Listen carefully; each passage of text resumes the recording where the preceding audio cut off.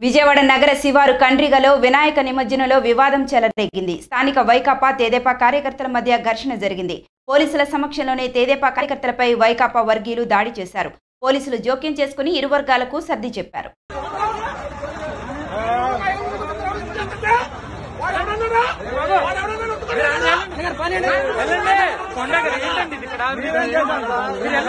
అసలు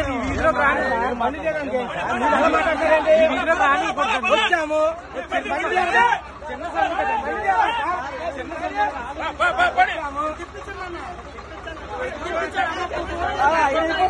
సంఘటన.